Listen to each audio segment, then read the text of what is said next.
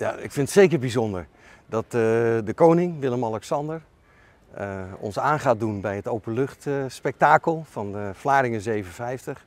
is echt een eer voor ons en ook, uh, ook heel leuk. De burgemeester zei het net al, de koning komt naar Vlaardingen. Dat gaat allemaal plaatsvinden op vrijdag 29 september.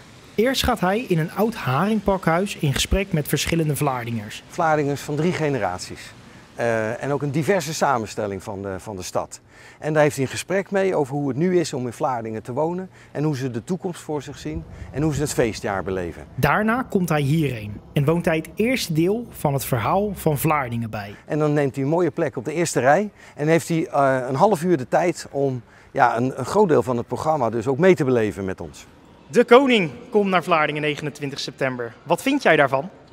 De leuke en aardige koning, maar ik heb uh, niks mee te maken. Het is heel bijzonder en uh, ik vind het heel leuk dat hij hier naartoe komt voor het 750-jarige bestaan van Vlaardingen. Nou, ik vind het wel een erkenning van uh, wat hier in Vlaardingen gebeurt. Dat is dat we na toch wel pittige jaren, financieel, sociaal, economisch, dat we de, ja, de, de trend omhoog weer te pakken hebben. En we zien hoe de stad uh, volop uh, het feestjaar aangrijpt.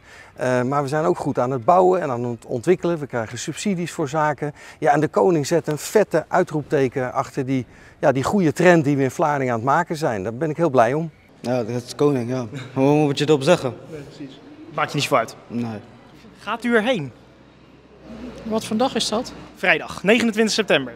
Nou, misschien wel. Ja, als ik in de gelegenheid ben wel. De eerste contacten met uh, de mensen die dat voor de koning allemaal regelen, die zijn al begin dit jaar geweest. Uh, de reactie op onze aanvraag was echt positief. De koning had niet langsgekomen als het natuurlijk niet een geslaagd jaar is wat in de stad uh, ook wat doet. Ja, in die zin is het echt een erkenning van ons feestjaar en ja, dat Vlaardingen goed bezig is. Het is de negende keer in 100 jaar dat de zittende Nederlandse vorst naar Vlaardingen komt. In 2008 gebeurde dat voor het laatst. Toen bezocht koningin Beatrix de uitreiking van de Geuzenpenning. Ja, wat we aan de koning willen meegeven, dat is dat deze oude Hollandse stad, misschien wel als je goed naar de geschiedenis kijkt, de eerste echte Hollandse stad, dat die met veel ups en downs nog steeds hartstikke levendig is.